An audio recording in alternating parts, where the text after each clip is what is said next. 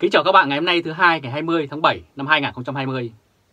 Kính mời các bạn xem bản tin Trung Quốc đe dọa Việt Nam sẽ trắng tay nếu đu dây theo Mỹ. Trong bối cảnh Biển Đông đang nóng lên gay gắt với một loạt các động thái đối đầu của Mỹ và Trung Quốc, cũng như nhân sự kiện hai nước từng là cựu thù Việt Nam và Mỹ kỷ niệm 25 năm quan hệ ngoại giao, truyền thông Trung Quốc liên tục đả kích mối quan hệ giữa Việt Nam và Mỹ trong thời gian qua. Vào hôm 16 tháng 7 năm 2020, tờ Thời báo Hoàn Cầu của Trung Quốc cho đăng bài báo với tựa đề Hoa Kỳ và Việt Nam thân cỡ nào của tác giả Li Donggang thuộc Viện Nghiên cứu Nam và Đông Nam Á và Châu Đại Dương thuộc Viện Quan hệ Quốc tế Đại Dương của Trung Quốc. Đây là hình ảnh chụp màn hình bài báo với nhan đề Hoa Kỳ và Việt Nam thân nhau cỡ nào trên Thời báo Hoàn Cầu của Trung Quốc. Bao trùm lên bài báo là lời đe dọa nhắm trực tiếp vào Việt Nam khi nước này có xu hướng nghiêng về phía Mỹ. Bài báo cảnh báo mối quan hệ chiến lược của Việt và Mỹ mà Hà Nội đang theo đuổi và nói rằng Việt Nam sẽ trắng tay nếu sự can thiệp của Hoa Kỳ vào Biển Đông tạo thêm căng thẳng hay phá vỡ sự cân bằng của mối quan hệ Trung Việt và Mỹ. Tờ Hoàn Cầu viết như sau,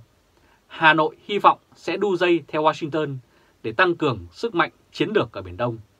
Đây là một lựa chọn chiến lược mà Việt Nam đưa ra trước nhu cầu về sức mạnh quốc phòng, quốc gia và tình hình khu vực. Nhưng nếu sự can dự của Mỹ vào Biển Đông làm gia tăng căng thẳng trong khu vực hoặc phá vỡ sự cân bằng giữa Trung Quốc, Việt Nam và Mỹ, thì sự phát triển của Việt Nam sẽ bị gián đoạn, tổn thất của Việt Nam sẽ rất lớn hơn những gì nước này có được. Và không chỉ thị uy Việt Nam, tác giả bài báo còn tố cáo rằng Washington không quan tâm đến đạo đức và công lý và đã can thiệp vào các vấn đề của các nước Đông Nam Á, bao gồm cả Việt Nam. Và đây là hình ảnh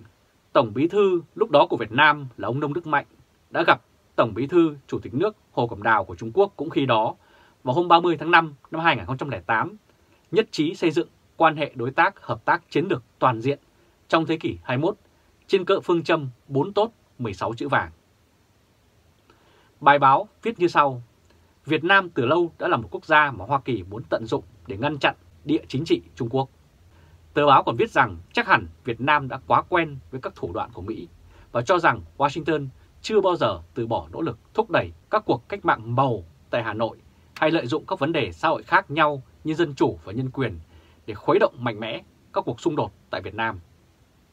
Trả lời Đài Tiếng Nói Hoa Kỳ, nhà bình luận chính trị Quang Hữu Minh đã đưa ra 3 lý do lý giải động cơ tờ báo chính thống của Trung Quốc lại cho đăng bài công kích quan hệ giữa Việt Nam và Hoa Kỳ như thế. Ông nói, thứ nhất, Trung Quốc có nhu cầu ngăn cản Việt Nam và Mỹ nâng cấp quan hệ lên đối tác chiến lược. Bởi hiện giờ thì quan hệ giữa Việt Nam và Mỹ đang thấp hơn quan hệ giữa Việt Nam và Trung Quốc. Quan hệ giữa Việt và Mỹ là đối tác toàn diện, còn quan hệ giữa Việt và Trung Quốc là đối tác chiến lược. Thứ hai, nếu như Trung Quốc để cho Việt Nam yên ổn trong việc hợp tác quốc phòng với Mỹ, thì có khả năng là tàu Trung Quốc bị trục xuất ra khỏi Biển Đông hay trên vùng biển của Việt Nam là rất lớn. Vì một khi Việt Nam đã ký hợp tác quốc phòng với Mỹ thì tàu chiến của Mỹ sẽ hiện diện thường xuyên trong vùng biển của Việt Nam mà như vậy về mặt chiến lược thì Trung Quốc coi như bị bất lợi.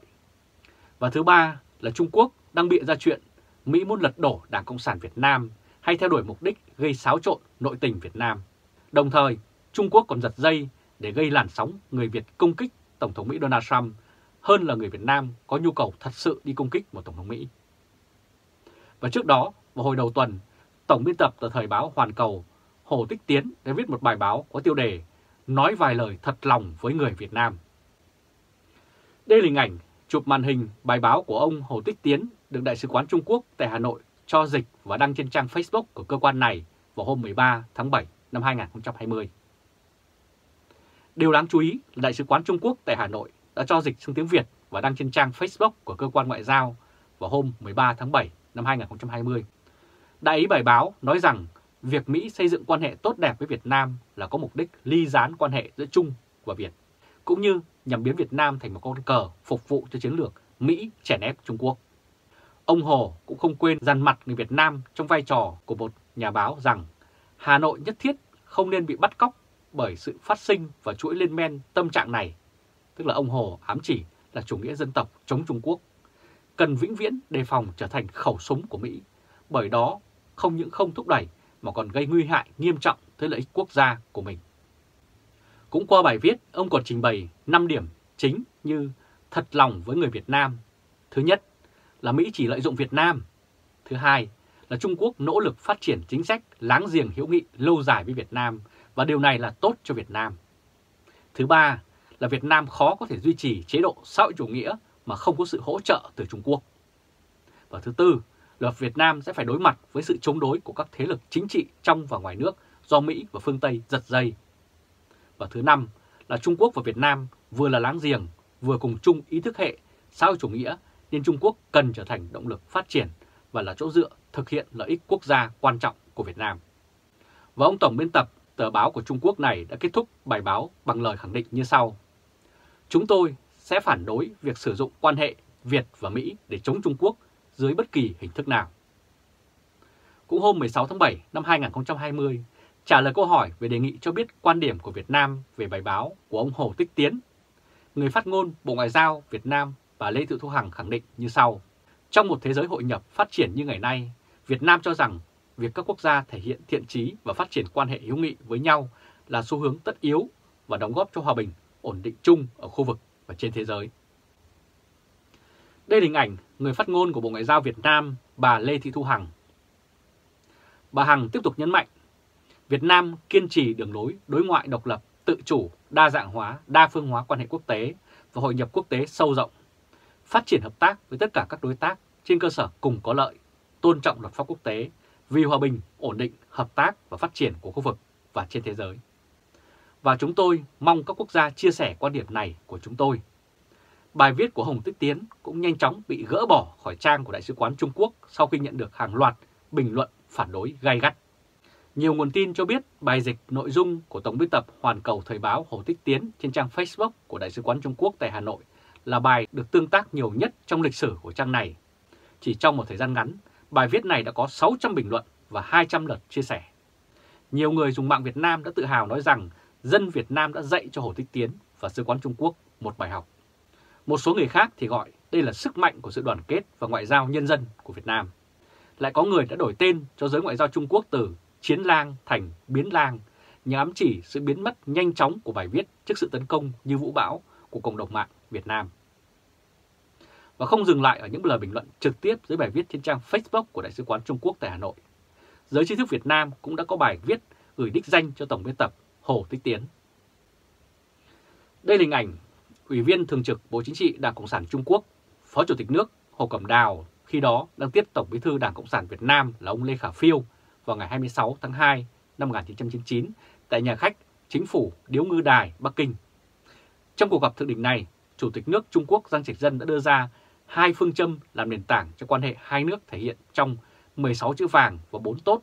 16 chữ vàng của Giang Trạch Dân là ổn định lâu dài, hướng tới tương lai, láng giềng hữu nghị, hợp tác toàn diện. Và bốn tốt bao gồm láng giềng tốt, bạn bè tốt, đồng chí tốt, đối tác tốt. Chuyên gia Bùi Đức Lại, nguyên cán bộ Tổ chức Trung ương Đảng Cộng sản Việt Nam đã viết thư ngỏ gửi ông Hồ, bày tỏ thái độ và suy nghĩ của một người dân Việt Nam trước giọng điệu lên mặt, kể cả của Hồ Tích Tiến. Trong thư ngỏ, ông lại khẳng định như sau. Cho dù có tìm mọi cách thì các nhà lãnh đạo Trung Quốc và các thế hệ và những nhà nghiên cứu trung thành của họ không thể tìm ra một bằng cớ, một lý do khiến Việt Nam chủ động gây sự với Trung Quốc vì lợi ích của chính mình. Chúng tôi không ngu dại gì nghe theo lời xúi dục của ai đó chống Trung Quốc. Và các xung đột trong lịch sử của Việt Nam đều là chiến tranh tự vệ chống những kẻ xâm lược, mưu toan bắt nạt Việt Nam quỳ gối. Và Việt Nam chỉ đi đến lựa chọn này khi bị dồn đến chân đường cùng, sau khi mọi hành vi nhún nhường, nhượng bộ không mang lại kết quả, thậm chí còn bị kẻ địch xem là biểu hiện của sự yếu đuối, sợ hãi. Tác giả cũng phủ định một cách thẳng thắn hàng trăm lý do khuyên Việt Nam đừng chống Trung Quốc mà ông Hồ kể ra. Ông lại khẳng định chính quyền Trung Quốc nói một đường là một nẻo. Một mặt thì dụ dỗ Việt Nam bằng những lời ngon ngọt về 16 chữ vàng. Mặt khác thì dùng mọi thủ đoạn phỉnh phờ, dọa dẫm, mua chuộc, chia rẽ. Trong đó có những việc không thể gọi hơn khác là tội ác. Và tác giả cũng đã điểm qua những sự kiện của Trung Quốc thực hiện gần đây trên Biển Đông để chứng minh cho luận điểm của Trung Quốc chẳng những muốn tự do cướp bóc đất đai, tài sản nhà người khác, mà lại còn muốn đóng cửa bịt miệng chủ nhà không cho kêu, không cho liên kết với hàng xóm láng giềng để tự vệ. Và tác giả kết luận bằng câu hỏi như sau. Tại sao các anh không làm theo lời ông khổng tử, người mà các anh tôn là thánh nhân? Ông bảo kỳ sở bất dục, vật thi ư nhân. Tức là với tài năng và đức lao động cần cù của nhân dân Trung Quốc vĩ đại, các anh hoàn toàn có thể trỗi dậy hòa bình. Chỉ cần làm ăn, buôn bán trung thực, Trung Hoa chắc chắn có tương lai rạng rỡ, sẽ một lần nữa đóng góp vĩ đại cho nhân loại. Trước hết cho nhân dân nước mình và những nước xung quanh, trong đó có Việt Nam.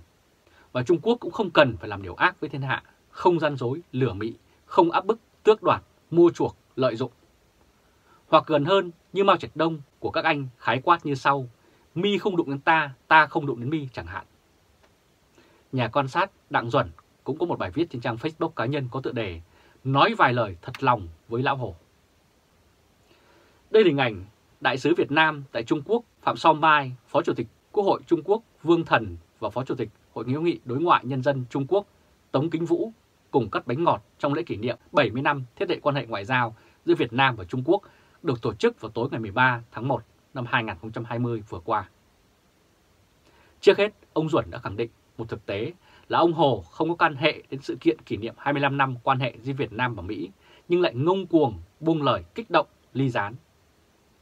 Và theo tác giả, hành động mà Đại sứ quán Trung Quốc tại Hà Nội cho chuyển ngữ và đăng bài của ông Hồ thể hiện việc ra mặt nhiệt liệt ủng hộ, đồng thời muốn phổ biến những lời hồ đồ của tiên sinh, tức là ông Hồ, đến đối tượng độc giả, nhân dân và quan viên nước Việt. Ông Duẩn đã phân tích như sau. Kỷ niệm 25 năm quan hệ Việt Nam và Mỹ là hoạt động song phương của hai nước đánh dấu một cột mốc mới trong quan hệ hòa hiếu giữa hai nước. Thế giới bên ngoài, người người thực tâm chúc mừng, cớ sao chỉ riêng tiên sinh và những người đại diện quý quốc buông lời rèm pha, phải chăng có đôi điều phẫn uất, không cam tâm hay có tật giật mình, sợ bóng, sợ gió. Trong khi đó, mọi hoạt động phát biểu của tầng lớp đại biểu hai nước Việt và Mỹ không hề nhắc gì đến một nước thứ ba nên càng không động chạm gì đến đất nước Trung Hoa của ông Hồ. Trong khi hai nước Việt Nam và Mỹ đã nỗ lực gác lại quá khứ hướng đến tương lai, thì ông Hồ lại mở đầu bài viết của mình với lịch sử đau buồn là hàng ngàn, hàng vạn tấn bom xuống miền Bắc Việt Nam, thể hiện rõ mưu toan kích động, ly gián. Ông Duẩn cũng khẳng định quan hệ giữa Việt Nam và Mỹ mới trải qua 25 năm, còn Việt và Trung Quốc đã trải qua 70 năm, mà trong mọi cuộc điều tra khảo sát đều cho thấy người Việt đối với nước Mỹ đều tỏ ra thiện cảm và cảm thấy tin tưởng hơn hẳn đối với Trung Quốc. Và lý do được tác giả đúc kết là vì 25 năm quan hệ Việt Nam và Mỹ chất đầy thiện trí, thành tâm, không xóa bỏ quá khứ, nhưng xem trọng tương lai. Còn 70 năm quan hệ với Trung Quốc chủ yếu chỉ nhận lại mưu hèn kế bẩn, phản chắc và chiến tranh xâm lược với những trận đánh chiếm Hoàng Sa vào năm 1974, giật dây cho Pol Pot tấn công biên giới phía Bắc năm 1979 cho đến thảm sát ở Trường Sa. Sau một loạt những phân tích phải trái từ thực tế lịch sử mà Trung Quốc suốt ngày ủ mưu đe dọa, gây xung đột với lân bang, chuyển lửa từ bên ngoài gây bất ổn hòa bình khu vực và thế giới. Tác giả đã kết thúc bài viết bằng việc đưa ra một con đường hòa giải cho hai nước. Ông nói, chỉ cần quý quốc từ bỏ dã tâm bành trướng, dã tâm lãnh thổ, chấm dứt vĩnh viễn can thiệp vào hoạt động dầu khí hợp pháp ở Biển Đông, chấm dứt ức hiếp ngư dân Việt Nam, tôn trọng luật pháp quốc tế, từ bỏ đường lưỡi bò. Đối với các thực thể chiếm đóng phi pháp ở Trường Sa, phi quân sự, hoàn nguyên và triệt thoái. Đối với Hoàng Sa thì dựa vào tiền lệ Bạch Long Vĩ mà trao trả. Đối với các vùng biển trồng lấn còn lại thì chiếu theo luật pháp quốc tế mà thành tâm phân định. Nếu quý quốc làm được những việc ấy, hai nước lân bang gà gáy sớm tối đều nghe, lẽ nào lại không thể bán anh em xa, mua láng liền gần. Các bạn vừa theo dõi chương trình truyền hình trực tiếp của Lê Trung Khoa, Thời báo.de ngày hôm nay thứ hai ngày 20 tháng 7 năm 2020 với bản tin Trung Quốc đe dọa Việt Nam trắng tay nếu đu dây theo Mỹ. Các bạn hãy chia sẻ bài viết này cho nhiều người cùng biết và bấm nút theo dõi YouTube và Facebook của Thời báo.de để luôn được cập nhật những bản tin mới nhất, nhanh nhất và trung thực nhất. Và cũng qua đây tôi cũng xin phép chia sẻ với các bạn một chút về thời gian vừa qua trong 2 tuần tôi cũng có sở hữu một công ty về phần mềm ờ, khá thành công tại Đức ờ, và tôi khá bận về việc này. Ờ, hiện nay thì đã sắp xếp được công việc và sẽ tiếp tục phục vụ, đều đặn các bản tin cho các bạn như từ trước tới nay. Vậy các bạn hãy chú ý lắng nghe. Trung Khoa Thời báo.de từ Cộng hòa Liên bang Đức